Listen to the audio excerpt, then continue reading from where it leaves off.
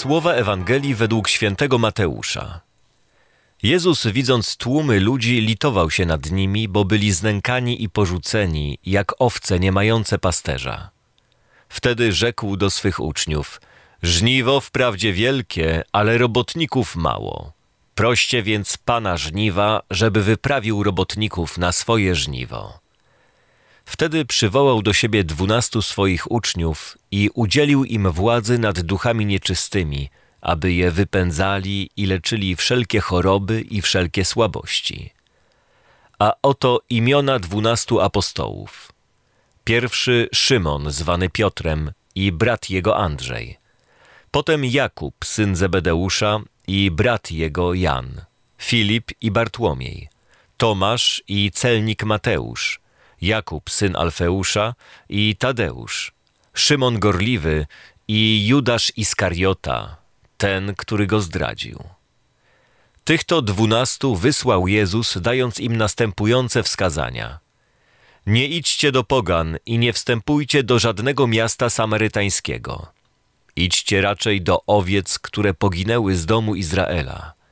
Idźcie i głoście, bliskie już jest Królestwo Niebieskie. Uzdrawiajcie chorych, wskrzeszajcie umarłych, oczyszczajcie trędowatych, wypędzajcie złe duchy. Darmo otrzymaliście, darmo dawajcie. Żniwo wielkie, ale robotników mało. Kto dzisiaj jest gotów poświęcić wszystko i pójść za Chrystusem, jak kiedyś apostołowie? Kto jest w stanie zostawić karierę, małżeństwo, rodzinę i poddać swoją wolę woli Jezusa? Mało jest robotników, a żniwo ciągle jest wielkie, coraz większe. W dzisiejszej dobrej nowinie Jezus zachęca nas, każdego z nas, do modlitwy o nowe powołania, do dzieła ewangelizacji. Współczesny świat daje nam nowe narzędzia, dzięki którym Ewangelia może lepiej i szybciej dotrzeć do ludzkich serc. Nie trzeba już na piechotę przemierzać wielu kilometrów od wioski do wioski i na ulicach lub w synagogach nauczać o Królestwie Bożym. Można ewangelizować, nie wychodząc nawet z własnego mieszkania lub domu. Wystarczy kamerka i kanał na YouTubie, aby dobra nowina trafiała pod strzechy kilku tysięcy ludzi każdego dnia. Wystarczy telefon komórkowy, aby zadzwonić do znajomego lub nieznajomego i opowiedzieć o Jezusie.